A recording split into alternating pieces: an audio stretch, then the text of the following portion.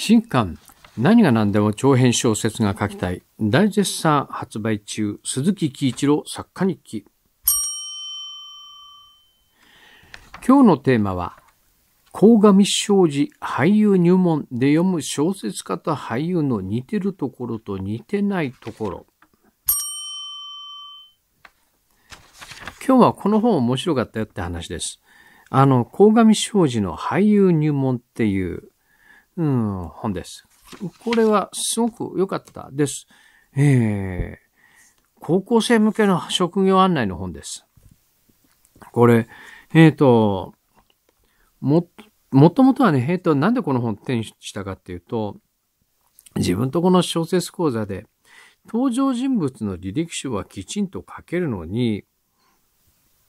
人物が書けてないよねっていう、そういう受講生が時々出てくるようになりました。ああ、なもんで、えっ、ー、と、その、ある程度練り上げた人間をどう演じてどう行動するかっていうのって、これ俳優の仕事なので、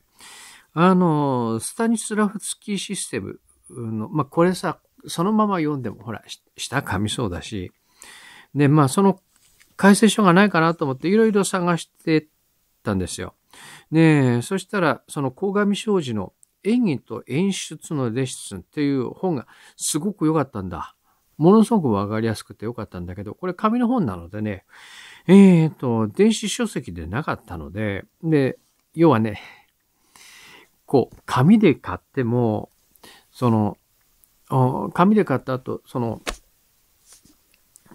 こう、なくしちゃうんだよ、早い、早い話がさ。後で読み返すときに困るので、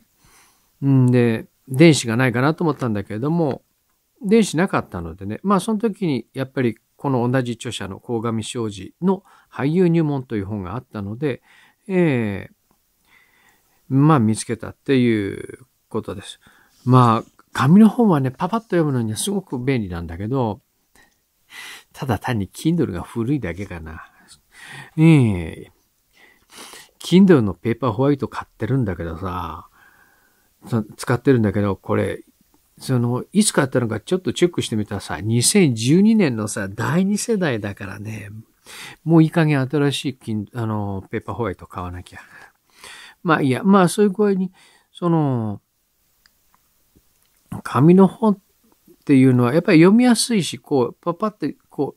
う、読み返すのにすごく便利なんだけど、ただ紙の本っていうのは、読みたい時にこう、本棚に置いといても読みたい時に読み出せないっていう、うそういう問題があるので、今、紙の本で、まず紙の本で読んで、まあ面白かったら電子で買い直すなんていうことが割とでちょこちょことあるもんですからね。っていうことをやってます。で、まあ話を元に戻すと、この鴻上昌司の俳優入門っていうのは、まあ、あ高校生向けの職業案内の本なんだけれど、こう、すごく丁寧でいい本なんだけど、こうこれを読んでみて、あの、思うのは我々が普段イメージしているよりも、俳優の仕事っていうのは、んもう多岐にわたってるんだなっていうことがちょっとびっくりしました。ねえ、まあ、俳優の仕事っていうと、うん、こう、自分を表現するというよりも、まず、その、うん、作家のイメージ、作家っていうのは劇作家だとか、監督のイメージを形にするっていう、まあそういう職業だっていう話だとか、あと、いろんな仕事があるということ、言われてみればそう、テレビのコマーシャル、うん、テレビのコマーシャルだとか、あまあ舞台もそうだけれど、うん、こう YouTube のビデオ、うん、今はコマーシャルもいろいろな場があるのでね、えー、だとか、あコメンテーターだとか、あ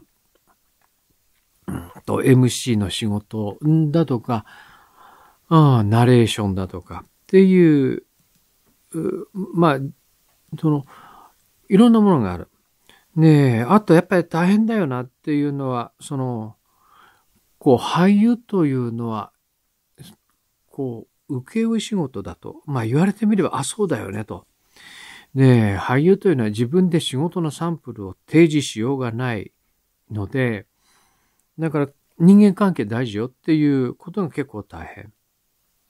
うんです。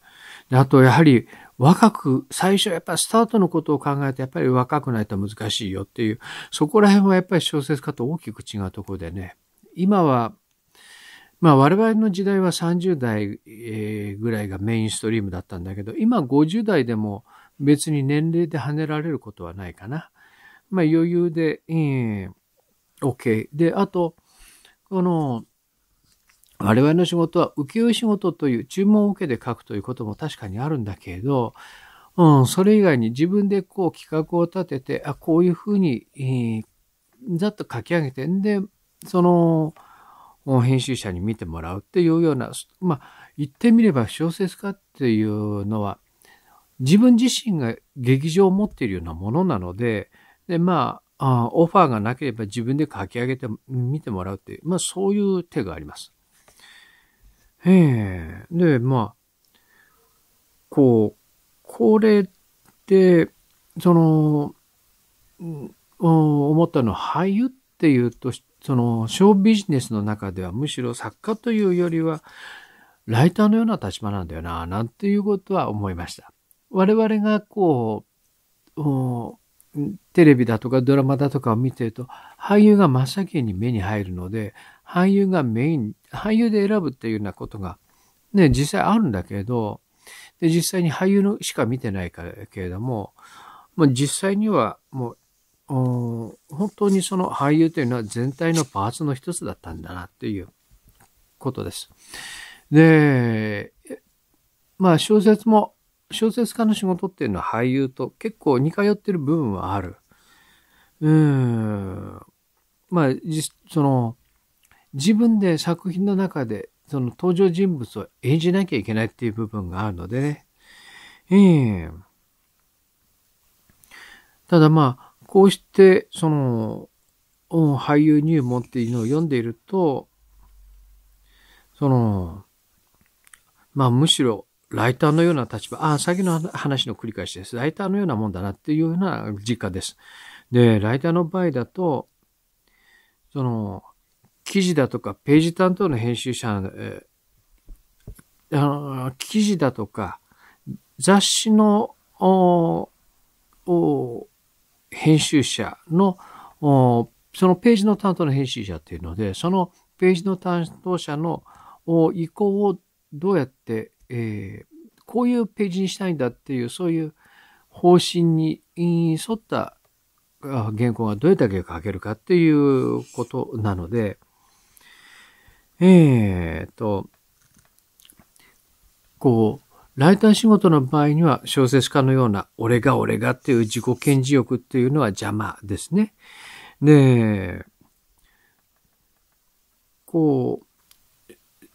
そこら辺がやはりその、小説と大きく違い、大きく違うところであるところと、うん、やっぱりあれだね、こう小説で何が一番大事なんだろうかということを改めて考えさせられるものではあったよね。えー、やっぱりその、うん、俳優というのは監督やあ演出家や、うん、劇作家の考えを表現する仕事なんだっていうことを考えると、まあ、そうすると、じゃあ小説家、その大元の原稿を書くことって何が大事なんだろうかっていうと、結局自分の主張だとか伝えたいこと、つまり小説を書くときには自分の伝えたいこと、この作品で何を伝えたいのかっていうこと